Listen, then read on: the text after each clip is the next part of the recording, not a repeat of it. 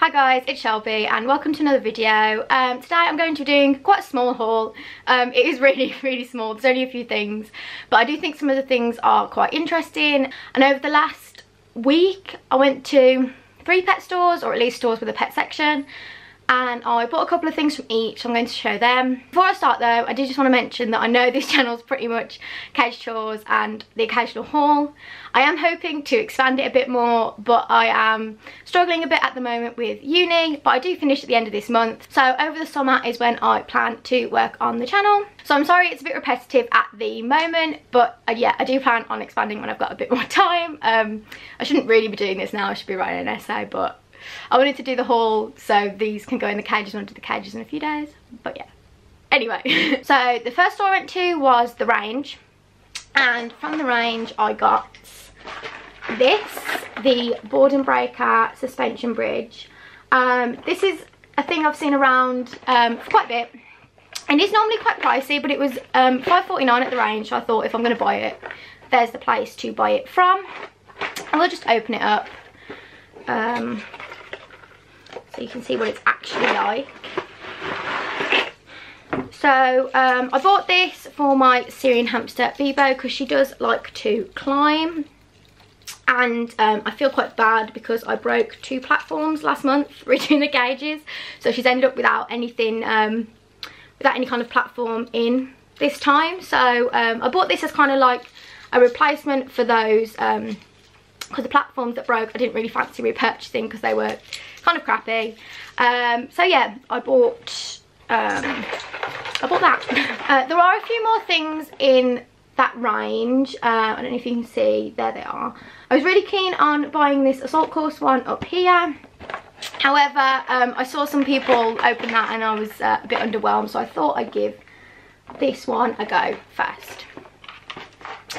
Also from the range, not as exciting, but I do really like these and I get these a lot are these little ring chews. Um, I think they're about 60 pence each, so they're not a lot at all, and they come in quite a few colours. This time I bought blue, green and yellow. Um, Pat doesn't touch these, but Bebo does. She like chews them right up, so um, I always have some of those on the go. So the next store I went to was um, an independent pet store by me. And um, I'll start with the more boring thing I got from there, which is this um, corner toilet thing. I um, used one of these for Bebo a couple of months ago and it was quite successful other than the fact it was quite small and um, it had a lid and she kept popping the lid off but it does make the cage a bit easier to clean and I'm quite lazy so if it makes anything easier I'd go for this one. Uh, this one is from Trixie and as you can see it was £1.49. However from this pet store I do get 10% off um, because it's in the same centre where I work so I get 10% off in some of the stores there and the pet shop is one of them which is nice because um, I go in there a lot. The other thing I got from there, I love this, it's a little castle. So this is the Trixie Play Castle. As you can see, it's a castle with um, just like holes everywhere for them to go in and out of and uh, it has like two towers at the back. I think this is adorable and um, I've seen it in there before and uh, I went in uh, pretty close to my birthday which was my excuse for buying all this stuff. Uh, it was my birthday a few days ago so I decided to treat myself and the hamsters um, with some new things so that was one I'd seen. This was um, around £10. I can't remember the exact price. So I got it for around £9. So not one of the cheapest things, but I do like it. And the final shop I went to was a pet shop called Pets Corner, but it was inside um, a garden centre I went to. And uh, this store is closing down. I will probably go back before it closes down to see if they knock anything else down. Um, but everything was 50% off. So there were some pretty good buys there, although the stuff in there was uh, about 30% more expensive than it is everywhere else anyway, so I can see why they're closing down.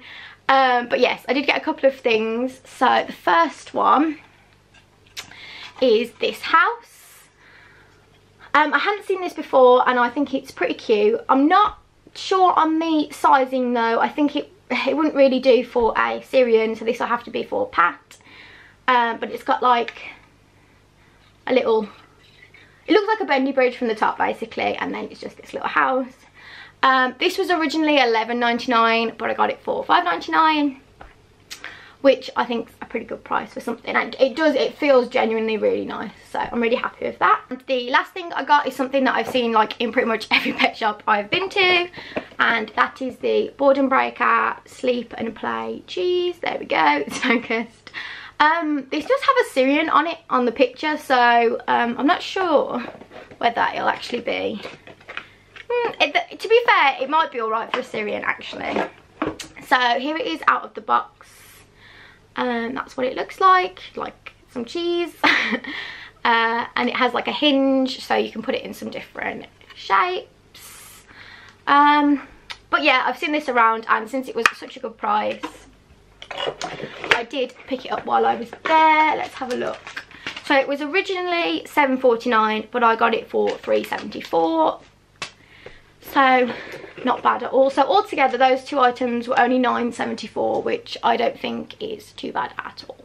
But yeah that's everything i've bought recently. I hope you enjoyed watching and i'll see you next time. Bye